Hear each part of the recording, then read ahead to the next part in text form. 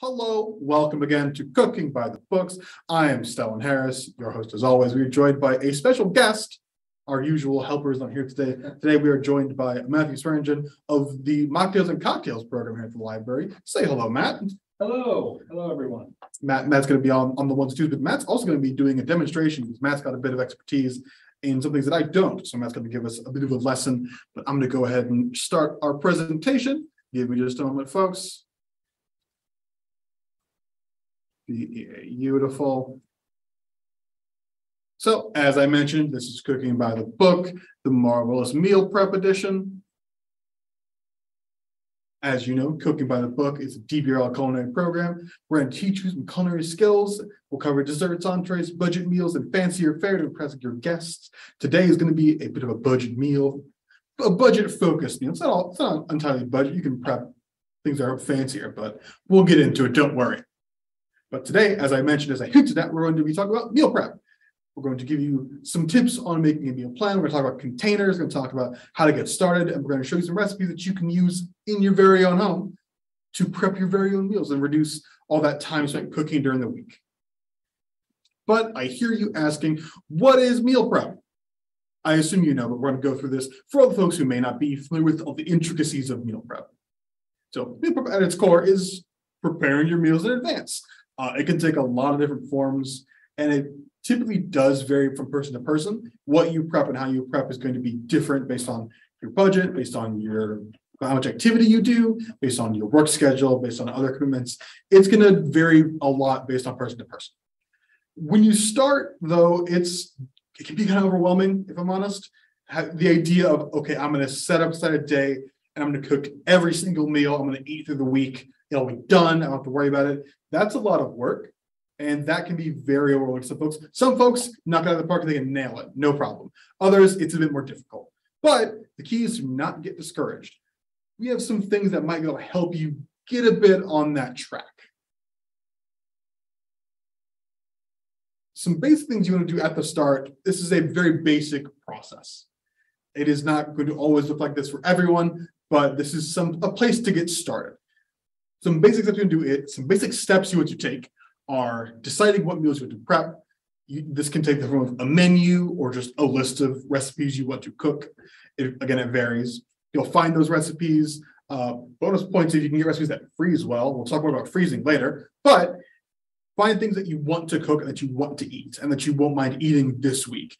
You don't you won't always prep the same things on a week to week basis. You might not prep the same thing week to week ever based on your preferences. But you want to find those recipes, you want to decide how you'll store your meals because what you cook will often decide how you store it. If something is easily freezable or doesn't really store well past a few days, that'll change how you prep it. After you've made those decisions, you'll shop for the ingredients and you'll do the cooking. Generally, in my experience, folks like to set aside like a day. I do mine on Sunday. Sunday is, is a popular time to set aside to do that if you're not busy otherwise. But you'll set aside that time, do the cooking, portion everything out, and you'll have your meal prep. And that's all meal prep is. And again, this is more of a template. It's kind of a place to get started. So don't feel like if this doesn't work for you one to one, that you can't meal prep. You certainly can.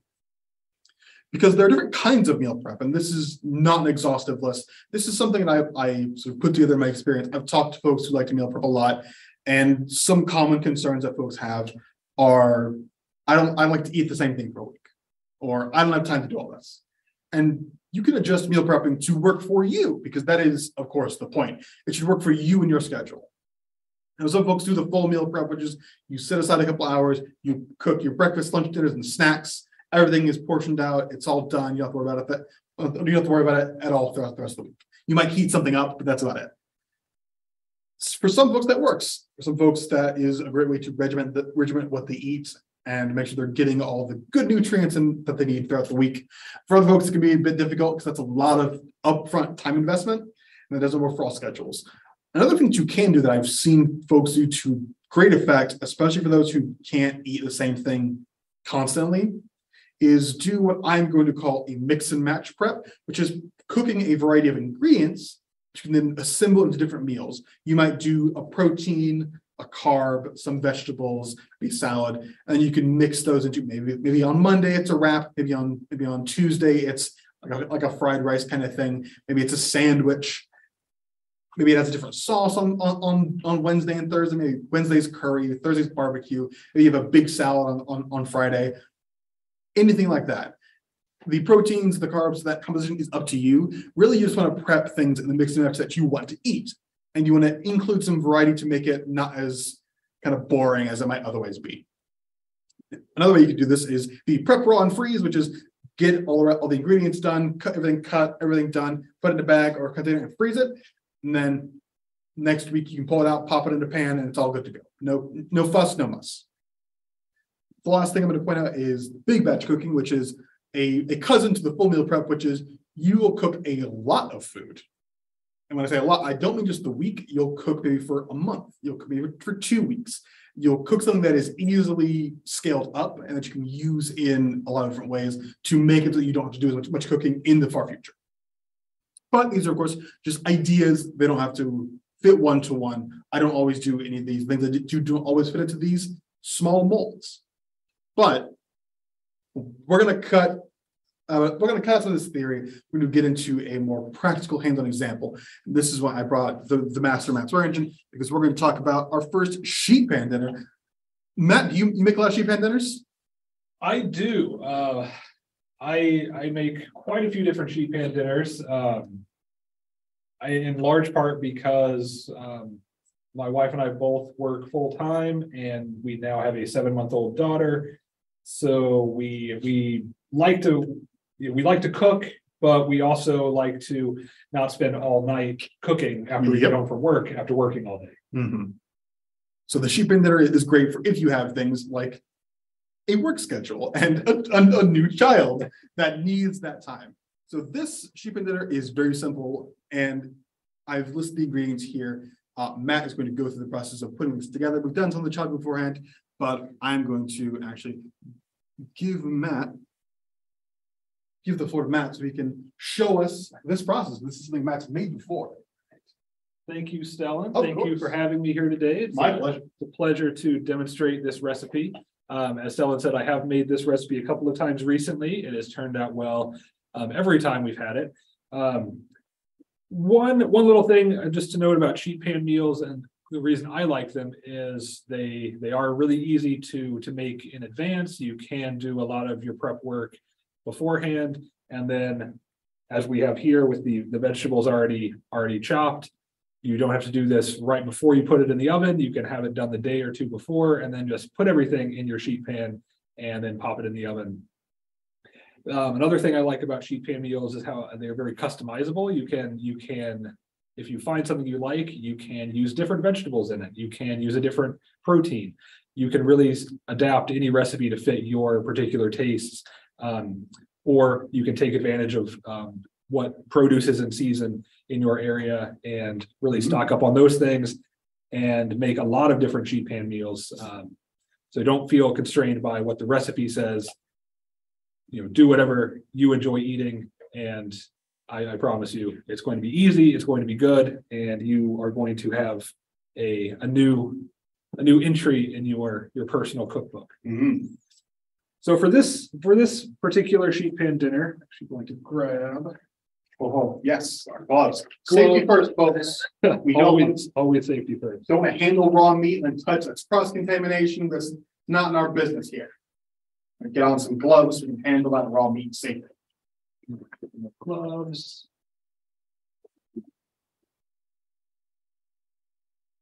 So what kind of meat do we have there, Matt? Today, we are working with sweet Italian sausage. Um, this works, I, I've made this recipe with, um, sweet Italian sausage before. I personally love spicy Italian sausage. I think this would work well with that, um, type of sausage as well. You could, I think this particular recipe is very simple. You could do really any kind of sausage. Uh, one of my favorite sheet pan meals is a similar blend of vegetables. Um, maybe add in some broccoli because I, I love broccoli and it's a Mm. great way to, to cook it. But with some smoked sausage Ooh, and just toss that in there. I, I think that, I actually had that for dinner on Monday this week, and, um, yeah, it's always a favorite in, in my household. So for this meal, And, and just folks that don't, we are scaling down our recipe because while you have lovely large ovens at home, we are working out of a toaster oven today. we are going to use about three of these sausages. Lay them on your pan here. And That's a, that's a aluminum foil pan. Yes, it is. Um, the pan has been covered with aluminum foil, which if you, if you use, when you're using a regular sheet pan. I happen to have a nonstick pan, so that makes cleanup very easy. Um, but if you don't have a nonstick sheet pan. Line it with parchment paper or aluminum foil, that makes cleanup even easier and you've. Because it is a one, one dish meal, you don't have a lot of pots and pans to clean up afterwards. It, it really can't get any simpler. than that. So you lay out your, you. Now I've gone and touched Oh, the boy. container with my meat covered gloves. That's all right. It's, it's, it's been caught earlier. So now that we have. Laid out our sausages on the pan. Take our pre-chopped vegetables. And, and what vegetables are those, Matt? We have red bell pepper, some red onion. Zucchini. And That's the that looks like it. we, we, we did some, some experimenting, folks, at home, we, we, I did a, a batch with potatoes. Which worked okay, there was some issues with potatoes didn't cook as quickly as everything else. But it is something that if you adjusted it, you, if you, if you want to take the extra step, and this kind of, this is, I know it's a lot. You want to maybe cook those potatoes a bit beforehand. Like put them in a little bit early, early and then everything else, that might work. But for this one, it'd be this, we're gonna make this as simple as possible, so it's just that blended vegetables. And they've been coated in a little or tossed in a little olive oil or oil of some kind. Mhm. and uh, a little salt and pepper to taste. And just add these veggies to your pan, arrange them around the sausages. Some of the peppers are gonna escape, It's called of doing business. lose a few peppers. So we've got this pan pretty well full here. Now, now, Matt, is it okay if some of the vegetables cover those peppers? It is, it is okay. Um. I, when I make this, I, I fill my pan probably more full than I should. But it always turns out, everything ends up cooking well. Um, I wouldn't cover, you know, the, the sausages completely, but having a little bit. On top is, is okay. You don't have to have everything uncovered. Um, Open up our, our, our oven, And Step around. and that should slide right in that top through. That in there. Close that lid. And we're going to cook this for approximately twenty-five minutes. Um, it is that, the sheet pan meals that I, I like to make have that twenty to twenty-five minute cook time. Um, and every once in a while, I might, depending on how. I'm, I'm kind of lazy when it comes to chopping vegetables, so I tend to make them a little bigger. Hmm. Which can increase the cook time a little bit. Um, but I also don't mind some, some crisp peppers um, in, in a sheet pan meal. Tidy up my runaway peppers here, There we go. and that is the Italian sausage sheet pan dinner. Yeah. And we will come back to that in approximately twenty-five minutes. Yeah. Thank you, Matt. Yeah. I, I, I had not made this before. When I spoke, with Matt, I asked Matt to be in this program and I asked for any ideas. He pointed this out to me and I thought it was such a fun idea and such a cool way to have a dinner that is done in under an hour generally that you can customize to your needs. But as this cooks, we're gonna talk a bit more about meal prep generally. Because now that we have this, this lovely sheet pan dinner, what do we do with it? How do we, how do we store it? How do we make this a process? And meal prep is at its heart a process. I'm also going to share the recipe again this is a full scale recipe this, this is what you would do at home. Uh, if you, if you don't, if you don't have the spur oil, like I didn't, you just coat your stuff in oil. I just put a little oil in a, in a bowl, tossed everything to coat, all that good stuff. Do like twenty-five, maybe thirty minutes if things are taking a little bit. If you do potatoes, I would say definitely go thirty, if not more, and like check them for doneness. Maybe put those potatoes in like five minutes before everything else, but mess around with it, see how you, see how you like to do it. But we'll come back with Italian sheet pan dinner in a minute. So. I thought about meal prepping some more and I wanted to share with you some, some key tips to getting started. Because I've definitely, I've tried meal prepping consistently a couple times. And there are times when I ran at it full steam and I hit a wall, I got discouraged. It's very easy to do so. So here are some tips to make it a bit easy for yourself. And the first tip is, of course, make it easy for yourself. The point of meal prepping is to make things convenient. If you have easy meals within reach, you're not going to say, get Culver's at nine thirty PM after working a night and you don't really want to cook anything like I did last night. Because I didn't have any meal prep ready. If I had, I would have come home and eaten that instead and saved myself like ten bucks. And the thing about making it easy is that what is easy for one person will be easy for you. If using an oven is too much, you prep with a microwave. Don't have a microwave, you prep salads or sandwiches or anything, any other kind of cold meals. I, I'm gonna prep a cold breakfast for for you guys in a minute. And that's just something that I will make occasionally, so I get something to eat in the morning that keeps me going to lunch. But you want to make this process as easy for yourself as possible, so you'll have that consistency. The next tip is to give yourself some leeway. We are not perfect. I'm not perfect. I won't speak for Matt, but I'm definitely not perfect. But there's going to be days when you do end up eating that Culver's at, at 9 30 p.m. because sometimes you just need that. And that's okay meal prep doesn't have to be this regimented, strict thing. It's there to help and make things easier, but everyone's gonna have a surprise lunch. Maybe, a- maybe a family wants to have lunch with you. Maybe there's an office party or something like that, and there's food brought in. That doesn't have to totally wreck all the meal prep you've done. If you give yourself some leeway and I'll say, okay, so I'm not gonna eat this lunch today. Can I freeze it? Can I have it for dinner? Can I shift things down so we have an extra meal on the weekend? Like there are ways to make meal prep not as a cut and dry thing that I think will help folks do it more consistently. The next one, and we'll get into this a bit, is think about how you store your meals. Excuse me. Um, because storing your meals is going to affect the way you interact with them, for, for lack of better words. If you have everything in a big Tupperware all mixed together, it might be harder to portion that out and to eat a meal in, say, five meals instead of uh, three. I've done it before. I've made a big batch of something and then I've eaten it, not really portioned out, and that's made it hard to keep that portion that portion control so that it stretches the length of time I need it to stretch. You don't always need to have the super fancy containers. We'll talk about containers in a bit, but think about how you want to portion those meals. And to Matt's to Matt's focus on sheet pan dinners, he mentioned cutting those vegetables beforehand. That's a great way to package something and store it for future. If you want, if you have, say, I don't, a Tupperware or even a plastic bag that you could that you could pop your vegetables in, maybe even also the sausages in there, so you can get rid of that little styrofoam guy. Anything like that would work, and that's thinking about storing to help make this process easier for you. This next one, and that was one I think is crucial. Uh, freeze what you won't eat.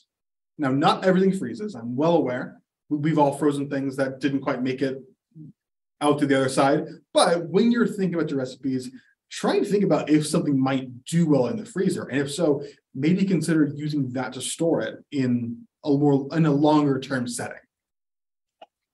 Because the freezer can be a really powerful ally when you're making meals, because not everything will hold up for five days in the fridge, but some things might hold up quite a bit longer in the freezer. And then as you go, you can eat your lunch one day, the night before, take that, take a meal out of the freezer, thaw it, it'll be good to go. And then last but not least is shop with a plan.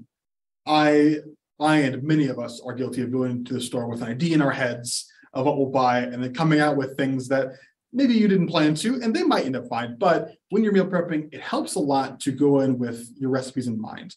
If you make a grocery list, have it focused around your meal prep, figure out what you need for that. Make sure you don't duplicate things. I've definitely bought two bags of flour. I think I didn't have any bags of flour.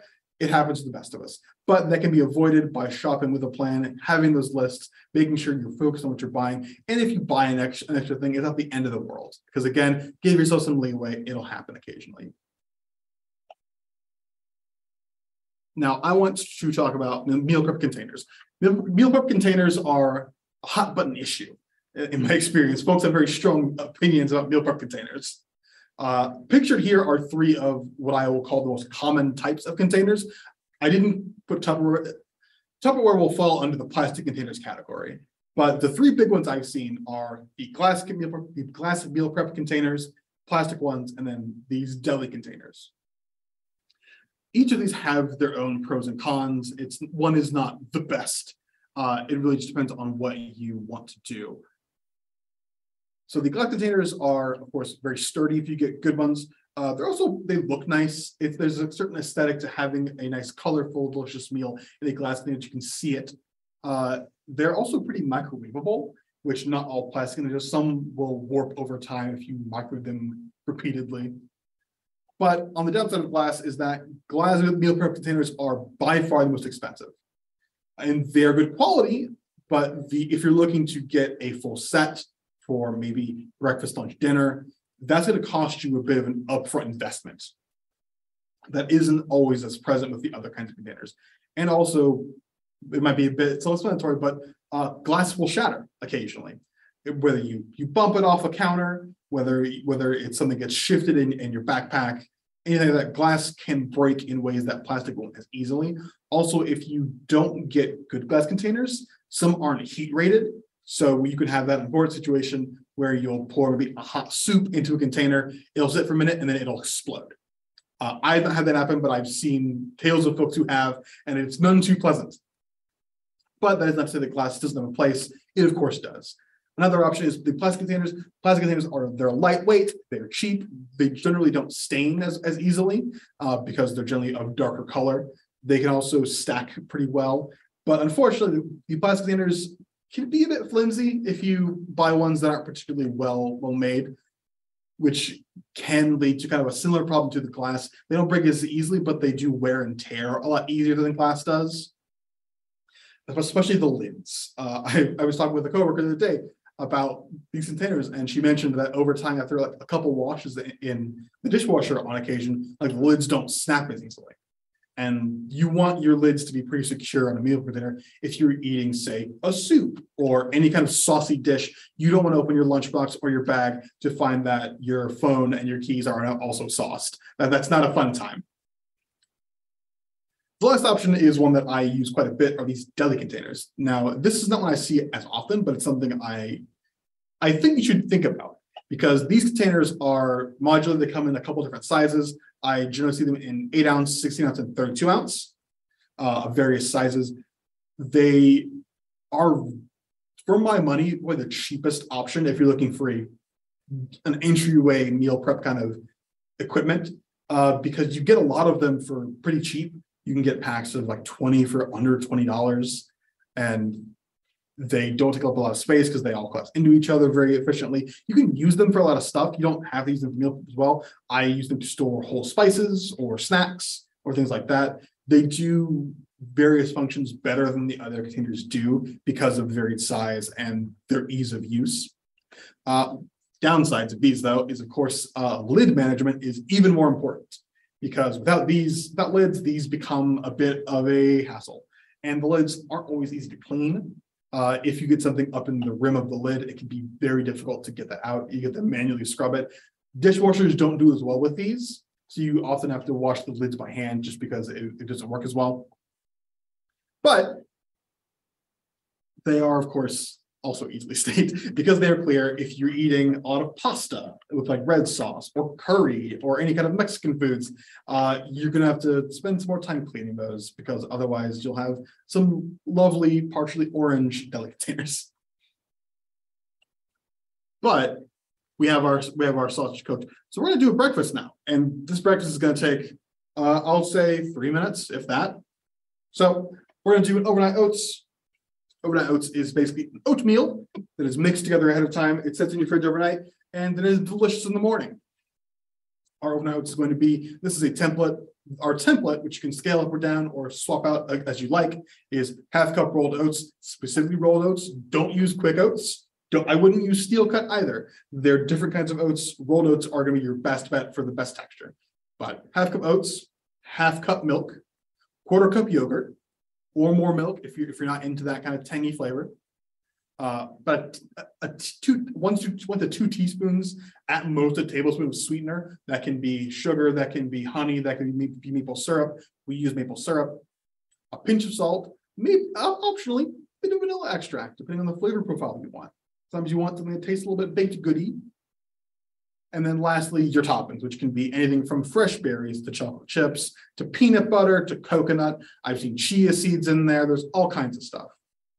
And the recipe itself is quite literally put everything into a container, let it soak for three to four hours or overnight, and enjoy hot or cold.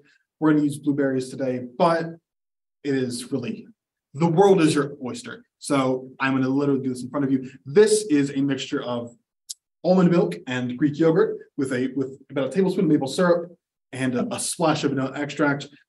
I'm just going, this is half cup rolled oats. That goes in there. We mix. And you just want to mix this until it is pretty homogeneous. Uh, we mixed the yogurt and the milk separately because if you don't, it can be a bit difficult to get that to. It can be a bit difficult to get that to be homogeneous, and you want that. You want that that tangy yogurty kind of flavor. Also adds a, protein to it, which help with satiety. I guess you say that. I don't really know. I've only heard, I've only seen it spelled. I haven't heard it said much, but it doesn't really matter. And then last, we have some blueberries. These are just fresh blueberries. They don't have to be fresh. Frozen would work just fine. I'm just gonna put these in here whole. And they will sit. a Handful and a half. This is probably not exactly a quarter cup, but I like more blueberries in mine. This is my oatmeal, so that's how we'll do things.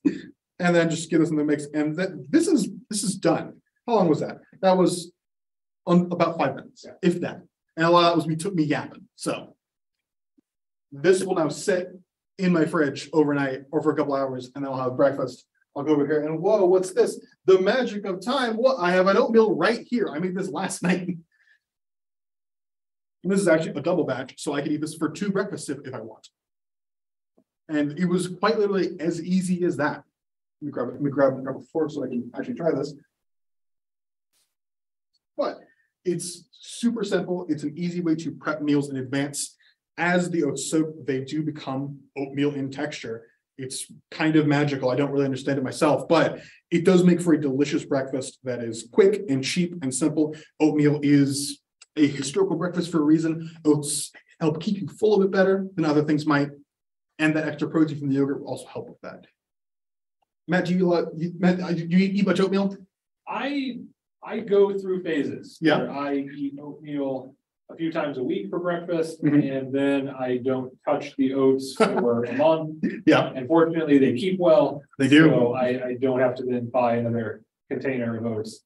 Um, you mentioned in the recipe that you could enjoy this, um, hot or cold. Have Yes. You had it both ways? I have, yes. Which do you prefer? Personally, I prefer it cold Okay, because I feel like it. I like, if you eat it cold, it kind of does take on a bit of a more pudding-like consistency. Okay. Uh, that I think I enjoy more cold. If you do warm it up, it, it, it has the consistency of oatmeal. Like it, it, it- it's, it's still thick, it's still delicious. It's just purely a matter of preference. Also, part, my preference could also, because I enjoy putting fresh fruit in mine. And I generally like my fresh fruit cold. Yeah. So that kind of contributes to that, but I've had it both ways. I've done a, I did, I did a, a peanut butter overnight oats with, with like chocolate chips in it. I had that warm and the chips kind of melted. It was, Yeah. it was delicious. that sounds like dessert. and- Yeah, it's a- it sounds like Perfect dessert. Yeah, it's great. I, I can't sing the praises of overnight oats more. It's, and it's super simple. It's super cheap. That was, that was barely any ingredients and the oats keep forever. I'm gonna have oats for quite a long time that I'm not gonna go through anytime soon. So it's something I highly recommend to folks if you're just looking for a quick breakfast. That's, that, that's our breakfast done. Matt, what's our time on our, on our dinner? We have nine minutes and twenty seconds. Perfect. B E A beautiful. So we're gonna head back in because I'm gonna yap about oats some more. Can you tell I like oatmeal, folks? I don't know if it's become obvious yet. But I will once again sing the praises of the overnight oats because I really want to really hammer home how custom how customizable these oats are. As I said, you can do all kinds of flavor profiles. If you want to change things up, you could say add chia seeds. What that's an addition I see recommended quite often. Do like a tablespoon of chia seeds when you put in the oats. They will also they will give it an even more pudding like consistency. If you've, you've ever had like chia seed pudding, it has a similar effect in here. One thing I did for a long time was do like if you have protein powder, do like a scoop of that in there. That really amps up that protein content. Really, so you got the the double whammy of oats keep you full, protein keeps you full. You're good for most of the day. It is something I highly recommend. But really, you can customize it to your tastes. If you don't like blueberries, do cherries, strawberries, uh, kiwi, anything like that. There's all kinds of fruits you can do. Don't do fruits. Do a jam if you if you if you want to do a jam or anything like that. These oats can they, they can take it. all. They're they're good for it. This is a template for you to use for your benefit and for your benefit. It's super easy. You, you literally saw me do all the steps almost. The thing you didn't see me do was mix together milk and yogurt, and that's that's quite literally just mixing. It's very simple. This is something that you could do if you if you have small children that they can help with. Kids kids love helping out in the kitchen. It's something that you could have your your small child do, assuming they can mix things. It might might be a bit of a risky risk proposition, but maybe with an eye on them. But it's something that you consider doing because if it's easy enough for a kid to do, I think even you after after working all day, coming home, you can whip this together in no problem. And then one thing that I didn't realize for a long time is how shelf stable overnight oats are. And I don't mean like oats. I mean, like this thing of oats will last, it'll last in the fridge like five days, which I think is wild considering that it's mostly dairy. But it'll it- it'll keep for most weeks. So what you can do is if you make a batch of these on, say, Monday, that's your breakfasts for the, the entire work week. And that's it done. So that is definitely a benefit to think about if you if you're not convinced of the power of the overnight oats. This is something to think about. And something I would recommend folks just give a try. I know what I'm doing on Sunday night.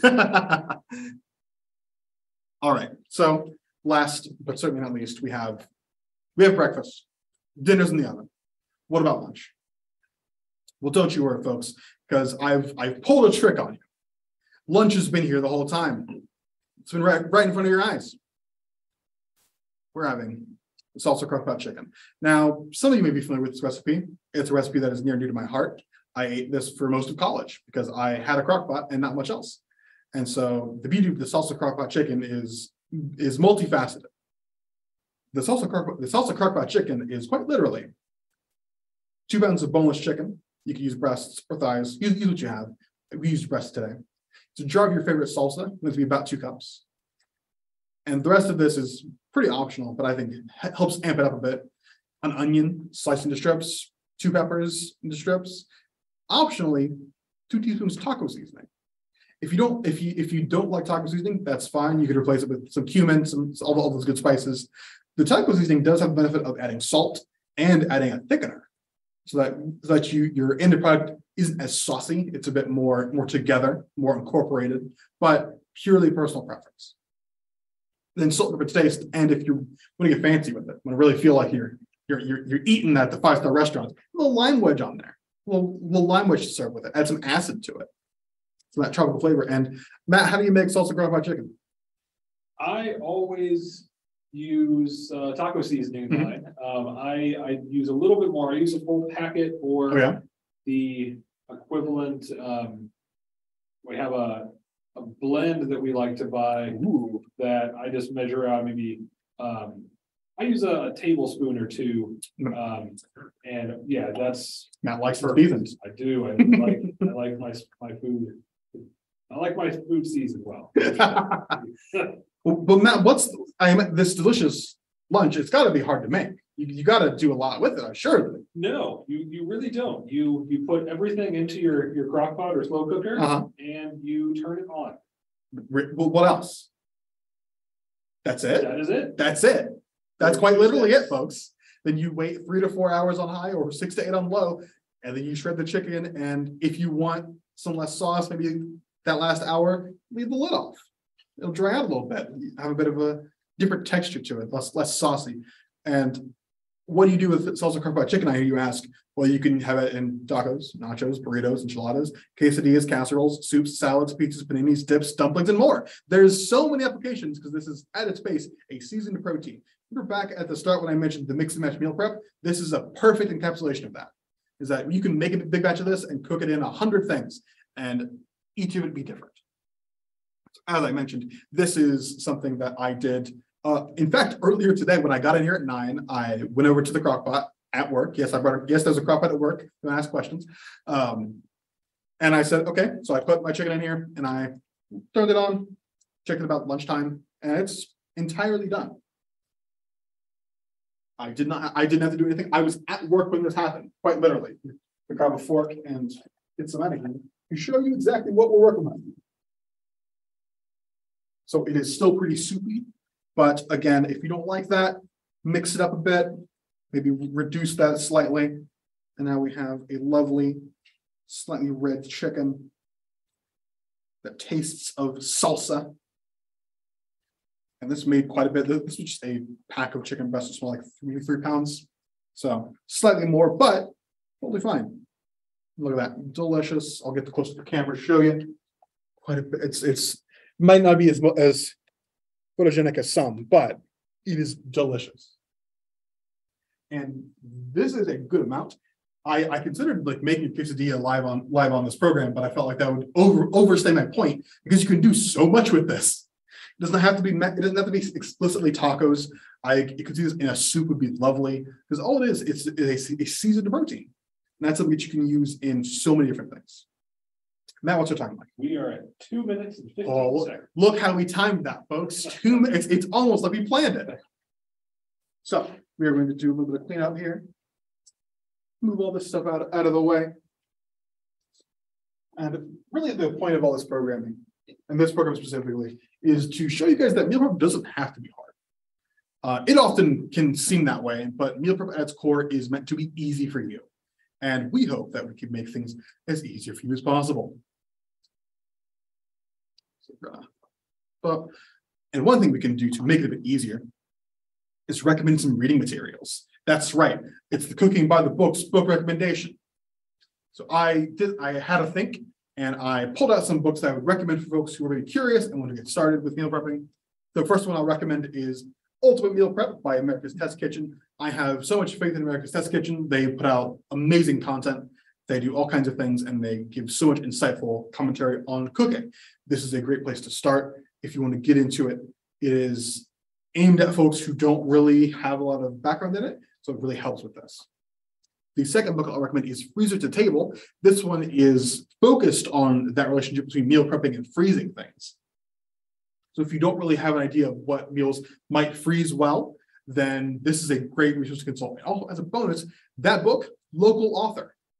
There's actually an interview with that author and, and her co-author on the DBRL adult blog. If you go looking for that, I'm sure you can find it. But that is something I highly recommend you guys check out, and the book as well. And last one is a new title, which is Prep Morelli. And this one I, I have not tried myself because it's a new title, but it's something that I think is very interesting because it purports to meal prep in an hour. And that is very good if true. If, if, if this book will help you get meal prep done in an hour or less, that is a huge time saver.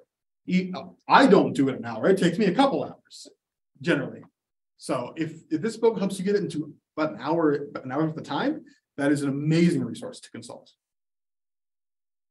So I and you can, and of course, you can find all these books at the Daniel Boone Regional Library, because I, I would not show a book that you couldn't find here. I, I will make you buy a book. Not what, no, you can go to your local library, because as the saying goes, having fun's not hard when you have a library card.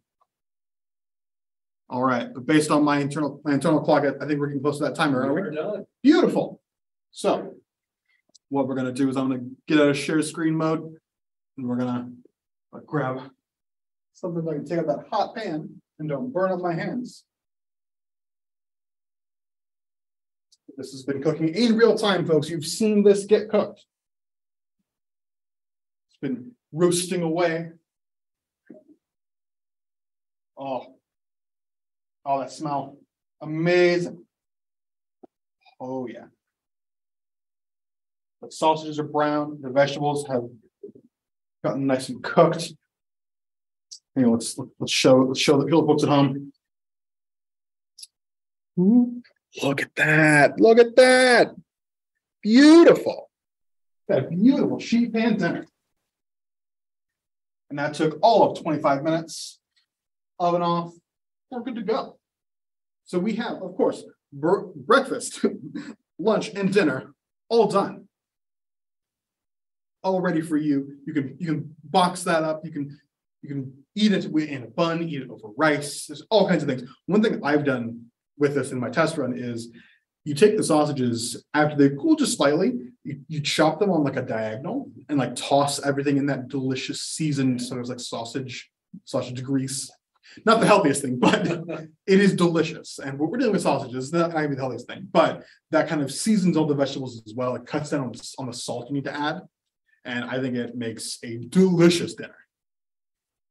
But this is what we're doing, folks. So We're gonna go ahead and start to wrap it up. I want to thank Matt Swearngin again for joining me on this one. This has been Yeah, my pleasure, Sal. Thanks for having me. of course, this has been, this has been lovely. So. I want to thank you guys for joining us. Uh, on another episode of Cooking by the Book. Uh, we hope you enjoyed the program. Now you've learned some new tricks to try in your own kitchen. The recording of this will be on our YouTube channel in the near future. And we hope that you'll join us for future sessions. I, of course, as always, have been Stellan Harris, your host. I have been joined by Matt Swearngin.